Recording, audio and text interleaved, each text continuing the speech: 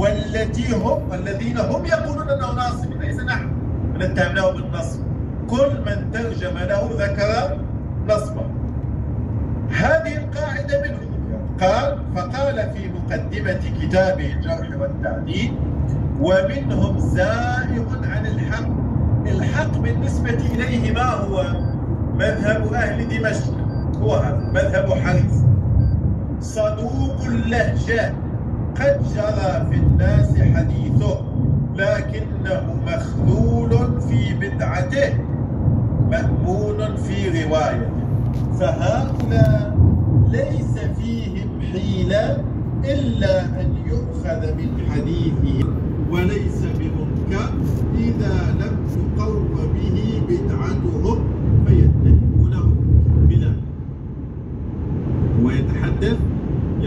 الإنسان الزائغ عن الحق طبعا الذي هو يرى.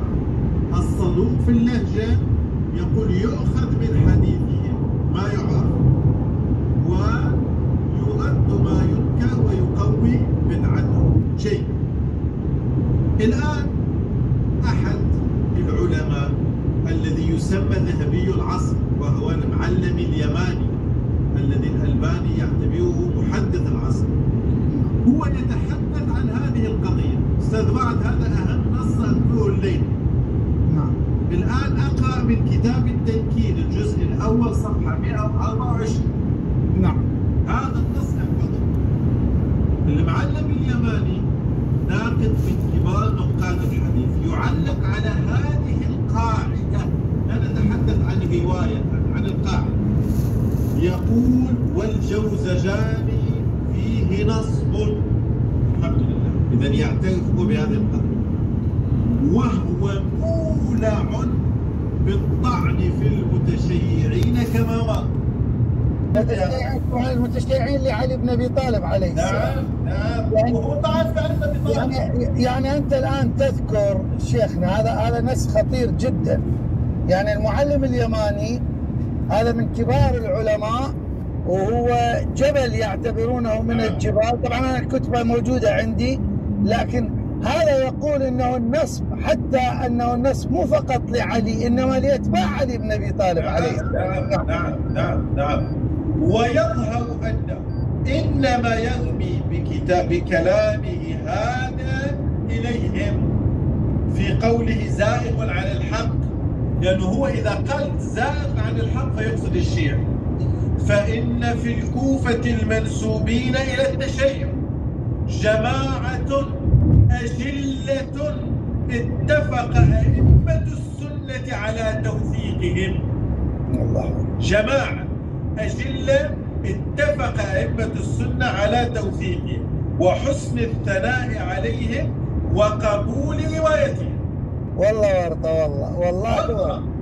وتفضيلهم على كثير من الثقات الذين لم ينسبوا إلى التشيع. هذا الواقع. وليس كلام من حجر وتوهينهم الشيعة مطلقا وهذا الكلام.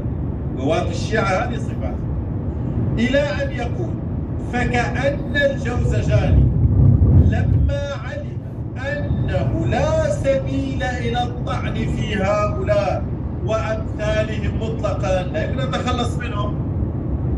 حاول أن يتخلص مما يكرهه من مروياتهم هؤلاء عندهم روايات يكرهها الجوزجاني ما هي؟ قال وهو ما يتعلق بفضائل أهل البيت.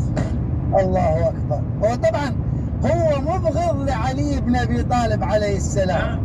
وياتي تأتي رواية تقول ان عليا عنده حق هذا الحق فأكيد يكره الرواية التي تصف جانب علي بن أبي طالب عليه السلام. فوضع قاعدة كاملة لإسقاط كل رواية في فضل ابن طالب. حتى الاعتراف القواعد التي يعترف وضعوها هؤلاء وضعوها النواصب يعني هو نواصب. هذه مصيبة قاعدة اليوم تحكم في علم الحديث يعترفون إخواني تسعين بالمئة من الأحاديث الواردة في فضائل علي عليه التي في كتب أهل السنة تسقط بهذه القاعدة. هذه القاعدة لا غير. إبليس كيف وضع هو ناصب ووضع قاعدة ليتخلص من الأحاديث الواردة في فضائل أهل البيت عليهم السلام. هنا المصيبة لا أدري هل طيب هذا الشيخ. نعم. شيخنا هذا الأمر ببساطة أنا أسست قاعدة. هذه القاعدة أنا أكره علي بن أبي طالب عليه السلام. يأتي الشيعي يعتبر أن حب علي بن أبي طالب عليه السلام غلو وأنه بدعة فيأتي الشيعي صادق يروي أن عليا كذا وكذا وقال النبي صلى الله عليه وسلم كذا وكذا. فببساطه ضمن هذه القاعدة الناصبيه أقول انه هذا الشيعي مبتدع ويدعو إلى بدعته وبالتالي الرواية ما تصح المصيبة هنا دقق